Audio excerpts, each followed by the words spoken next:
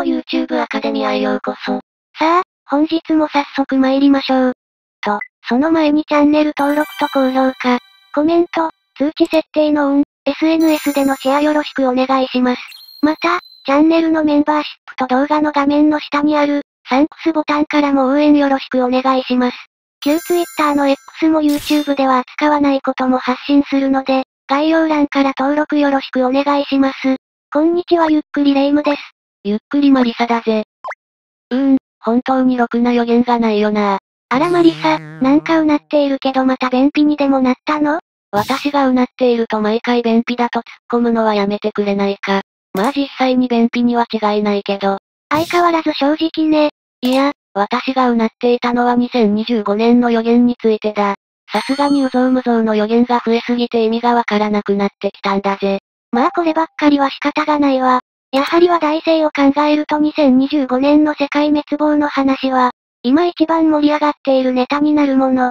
それにしてもめちゃくちゃすぎないか？一体どれだけ大津波が起こるんだよ？発想力が乏しい人たちの予言や解釈はどれも2番線になりやすいから、どうしても同じような内容になるわね。でもこういった予言の話って、昔も同じようなことが起こっていたのよ。それこそノストラダムスの大予言なんてその典型だったわね。1999年に世界が滅びるやつだよな。確かにあの予言は社会現象になっていたぜ。当時はまだインターネットも今ほど普及していなかったし、当然スマートフォンも存在していなかったわ。もしノストラダムスの大予言が今の時代の話なら、ちょっとしたパニックが起こっていたかもしれないわね。そう考えるとネット上にはびこっている予言には注意が必要だな。はびこっているってまたひどい言い方をするじゃない。ただ予言の中には情報として頭の片隅に置いておいた方が良いものもあるの。情報として捉えた予言は意外と別の観点から見ることで、私たちの生き方に大きな影響を与えることもあるのよ。なんだよそれ、すごく気になるんだが。それじゃ今回はネット上を騒がせている予言について3つ紹介するわね。一つ目はホピ族の予言になるわ。ホピ族の予言ってかなり的中して話題になってるやつだよな。この予言では世界滅亡とその救世主について語られているの。そして私たち日本人にも大きな関わりを持つ予言になるのよ。これはどんな予言か楽しみだぜ。二つ目はマヤの予言で、これは2012年に世界が滅亡するとされていた予言になるわ。この予言は思いっきり外れてしまったな。ただマヤの予言は私たちが勝手に解釈したもので、別の意味が存在していたのよ。マジか。めちゃくちゃ気になるぜ。そして最後に2チャンネルの掲示板に書き込まれたあるおばあちゃんの予言。について紹介するわ。2チャンネルの掲示板か。まあこの予言はどちらかというと、私たちの生き方に関する忠告みたいな内容になっているの。だから予言というよりかは、アドバイスとして聞いてくれると良いかもね。ただの破滅の予言ではないようだな。最初にマリサが少し言っていたけどネット上に存在する予言は、正直うぞうむぞうのものばかりで、その内容を信用するのはお勧めできないわ。ただ一つの情報として考えると、今後私たちがどう行動するべきかの材料になるものもたくさんあるのよ。だから自分で必要な情報を抽出して、行動につなげてくれると嬉しいわ。何もしないのが一番ダメなことなんだぜ。それじゃ、ゆっくりしていってね。まず最初に紹介するのはホピ族の予言よ。マリサはホピ族って知っているかしら？おいおいこのマリサ様を舐めすぎだろ。ホピ族はアリゾナ北東部の大地に住むアメリカ、インディアンの、一部族のことで、平和の民と呼ばれる部族のことだ。あら、完璧な答えじゃない。伊達に四六時中ネットサーフィンに勤しんでないぜ。そんな恥ずかしい日常をドヤ顔で言われても、このホピ族の予言はネット上ではかなり有名だよな。なんたって8つも予言を当てているんだから。まあホピ族の予言に関してはあくまで口伝伝承によるものなので、ちょっと曖昧な内容も多いのよね。一応はヨーロッパ人のアメリカ大陸の侵略や鉄道の出現、電線、電話線などの予言を的中させているけど、あくまで解釈によってこじつけているものも散見されるのよ。それじゃレイムはホピ族の予言を信じていないのか？正直的中したと言われる8つについてはね、ただまだ的中するかどうかわからない。9つ目の予言は少し考えさせられるものなのよ。9つ目の予言って、俗に言われる世界滅亡の予言になるわ。マリサはそもそもホピ族の予言がどうして生まれたか知っているかしら？え、そんなの預言者か誰かがいたんじゃないのか？そんな単純なわけないでしょ。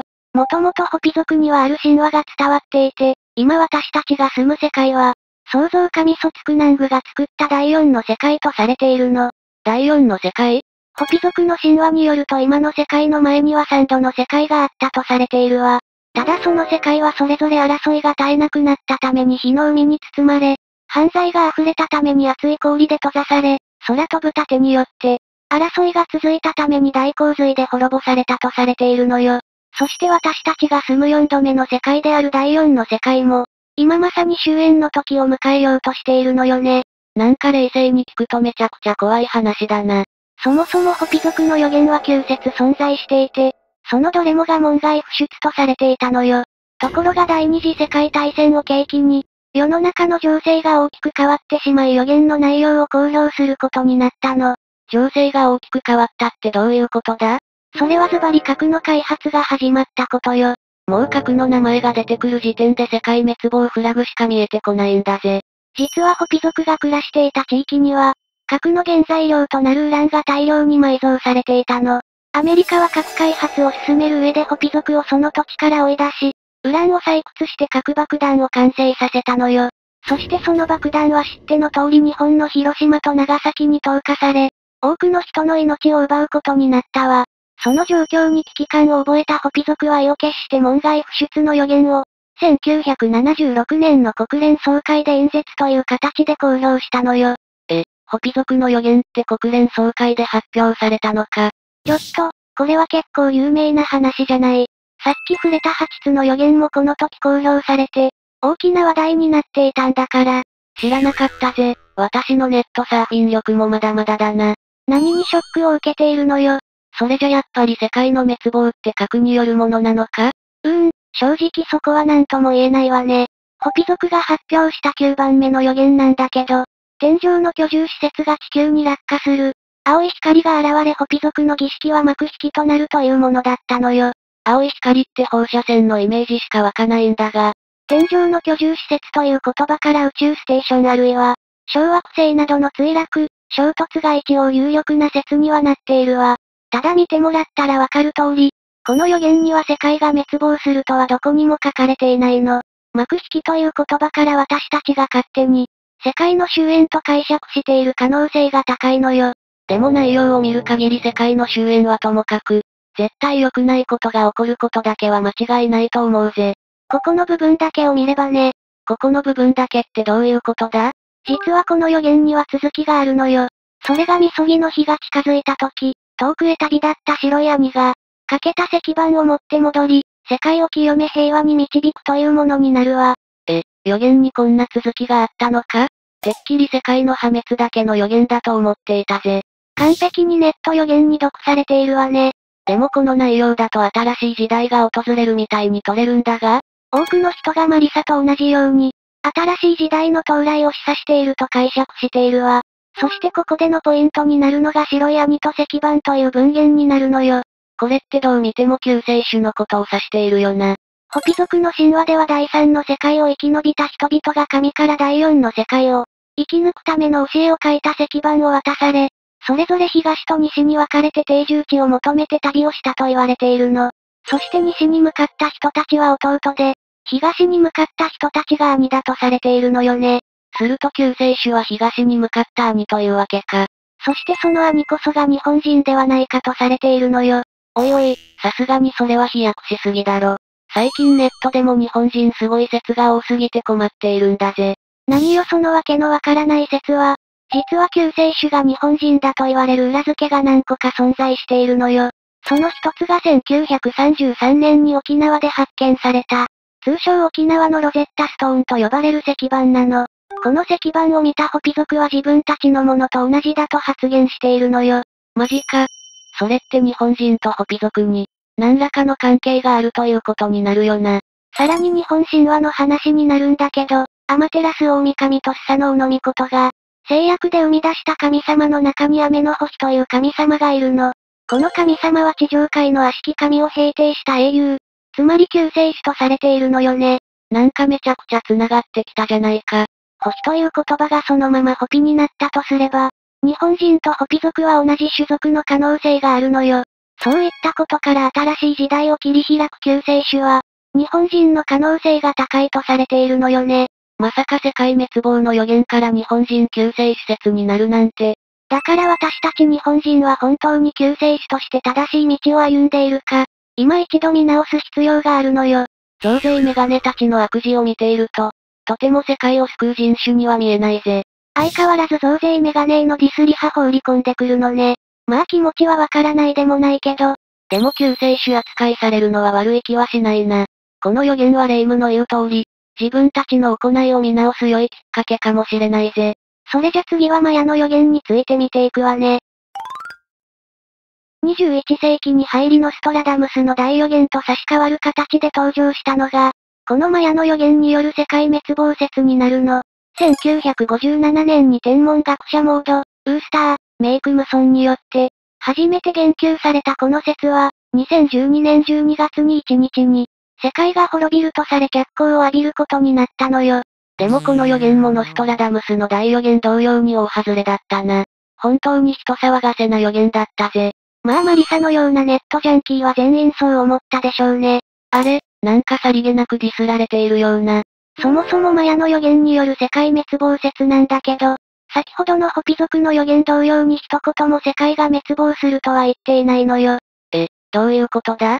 もともとマヤ文明はメキシコ南部などに栄えた古代文明の一つで、マヤ暦という非常に優れた暦を使用していたの。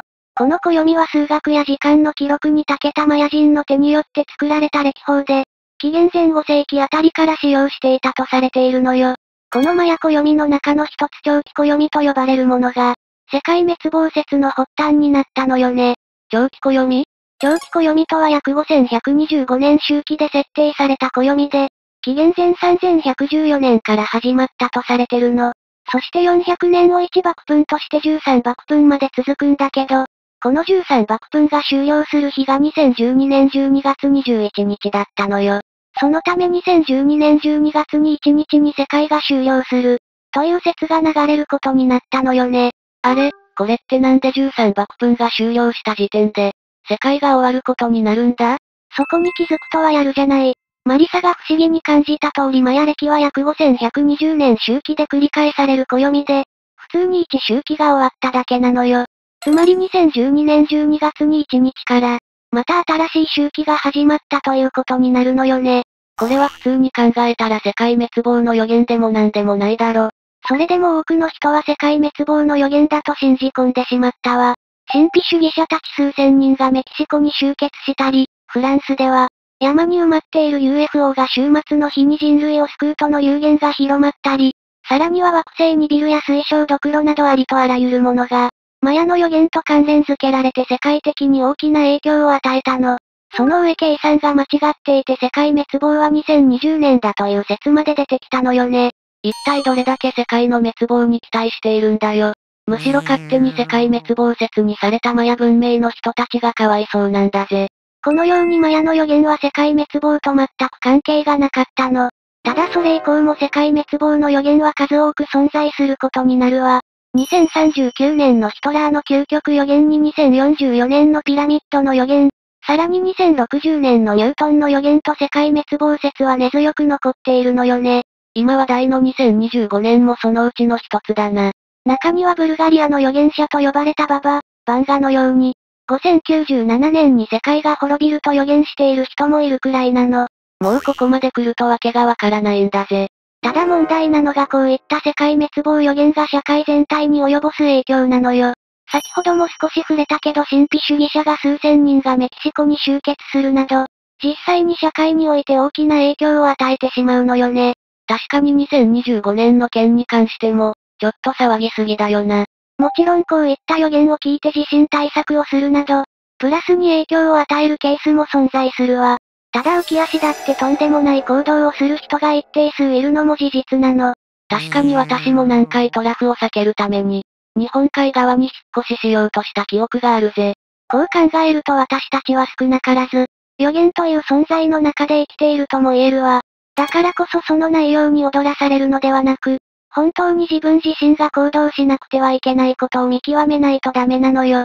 そう考えるとある意味マヤの予言は、私たちに重要なことを教えてくれたのかもしれないな。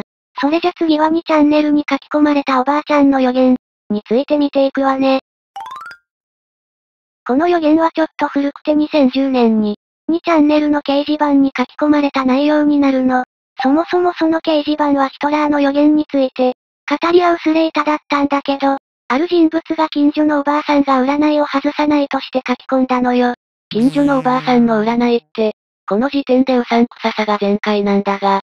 まあそこは2チャンネルの掲示板だからね。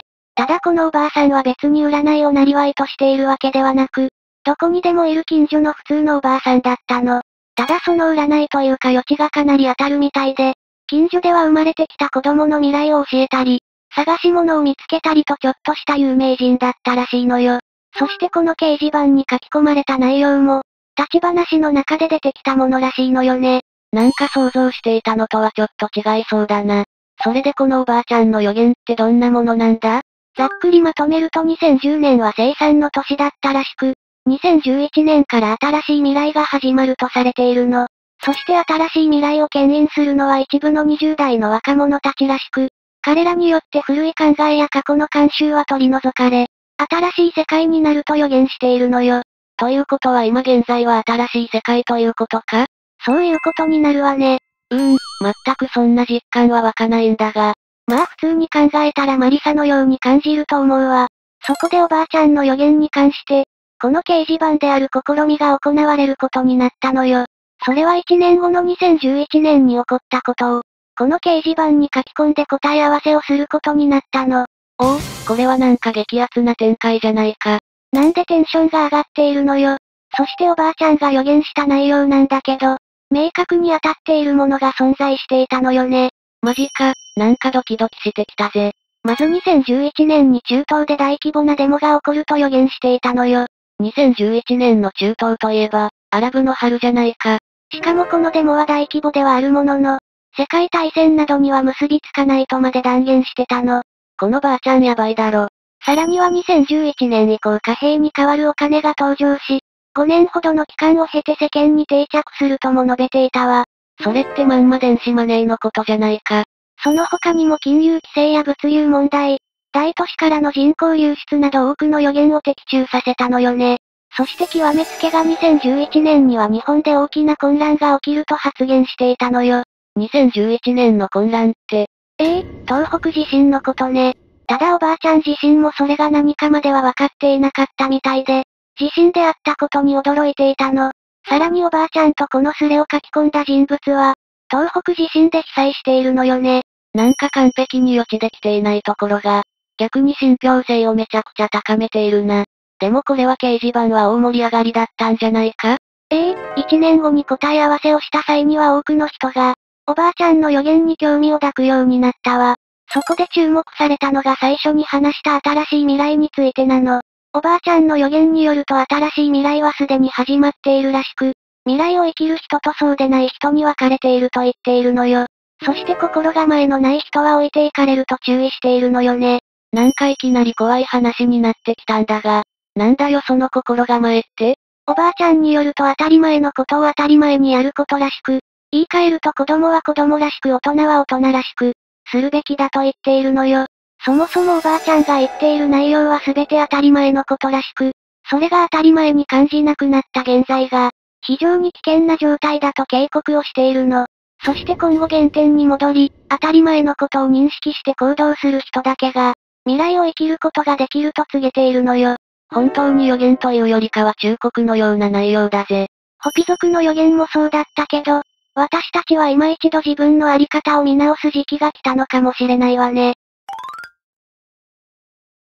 今回はネット上を騒がせている予言について紹介したわ。今回の話はかなり考えさせられたな。これだけ色々な予言が蔓延している理由も、なんとなくわかってしまったんだぜ。現代社会は多くの情報が溢れ返っているせいで、いつしか人間は本来あるべき感情を喪失させてしまったのかもしれないわね。だからこそ世界滅亡をはじめマイナスな予言に、依存する空気感ができてしまったのよ。そう考えるとやっぱり最後のおばあちゃんの予言のように、当たり前のことを当たり前に感じる生活を取り戻さないとダメだな。でないと救世主になれない気がしてきたんだぜ。あくまで今回紹介した内容も予言にしか過ぎないため、すべてを鵜呑みにするのは危険だと思うわ。ただその中でも考えさせられる内容もあるはずだから、この動画をきっかけに新しい行動につなげてくれると嬉しいわね。それと緊急時への備えのために概要欄に防災グッズなどを紹介しているのでよかったら活用してみてください。わかった。せっかくだから活用させてもらうよ。それじゃ今日はここまでなんだぜ。また次の動画でお会いしましょうだぜ。ご視聴ありがとうございました。